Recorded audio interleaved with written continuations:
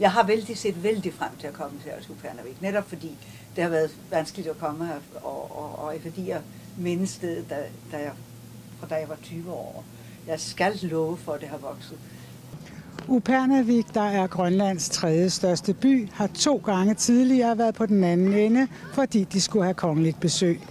De besøg blev aflyst, men nu er tredje gang lykkens gang. Jeg kom her for aller, aller første gang i 1960 med mine forældre, og det var den første by i Grønland, jeg nogensinde besøgte. Så det var noget helt specielt. Og så har vi altså forsøgt, vi, vi har besøgt øh, Upernavik en gang. Øh, vi fløj med helikopter hertil fra Umanak, tror jeg det var.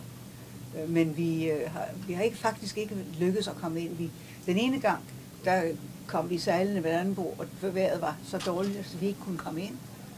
Øh, det var også før, der var lufthavn. Og der var heller ikke nogen kaj dengang, så det var med at ligge ude og så gå ind med fartøjer. Det, det var helt umuligt. Så vi drog sydover. Og så en senere gang, hvor vi... Ja, så, der, så, kom, så lykkedes vi altså at komme med helikopter til Upernavik. Men øh, det var heller ikke... Øh, det, var det hele. Det var altså en ganske kort visit. Og så sidste gang vi var her, det var sige i, i 11, ja. I 11 skulle vi have været her. Og fløj hertil, og der var lige akkurat lidt skyer, lige der, hvor jeg skulle lande. De kunne ikke øh, påtage sig at lande. Så fløj vi til Umanak, og så, så det, det er altså rigtigt nok, det er tredje gang i lykkens gang, og det er jo vidunderligt at se det i det vejr. Og det er det samme slags vejr, jeg havde, da vi var her første gang. Også næsten stille og strålende sol, så det, så, ja, så bliver man sig jo ind, og så, at det er sådan. Det ved jeg jo godt, det ikke er. Øh, ikke mindst fordi den ene gang, vi kom med helikopter, der var det faktisk meget gråt og ret køligt.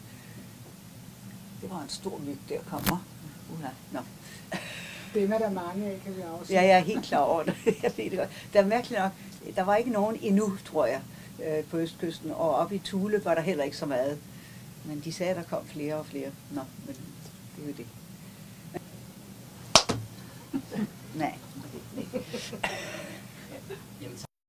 Billedbladet, Danmarks Royale Ugeblad.